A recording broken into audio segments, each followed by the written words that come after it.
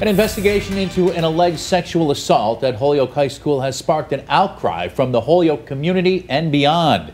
Good Tuesday evening. I'm Chris Pisano. And I'm Jordan Jagelenzer. Western Mass News reporter Matt Sottile is live outside Holyoke High School with the very latest. Matt?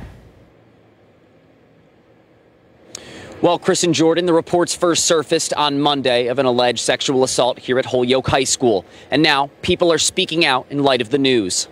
It's definitely something that the school board needs to uh, figure out, I think, um, and kind of get to the bottom of what's what actually happened. Here at Holyoke High School, an investigation is underway into an alleged incident of sexual assault. One Holyoke resident says it's the first time she's heard of such an incident at the high school. I've never heard of it that directly related to Holyoke High School. Western Mass News reached out to Holyoke Police Captain Matthew Moriarty, and he tells us in a statement there is an ongoing investigation involving the conduct of two juveniles. Currently, I am unable to provide any details.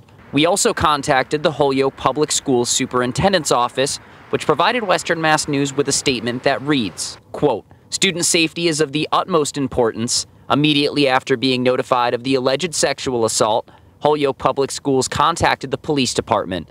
HPS is cooperating with the police department in the investigation and following all internal protocols.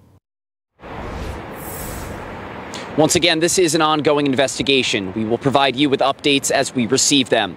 Coming up later at 6, we speak exclusively with a former Holyoke student about how they're working to gather the community together and speaking out in light of this alleged incident.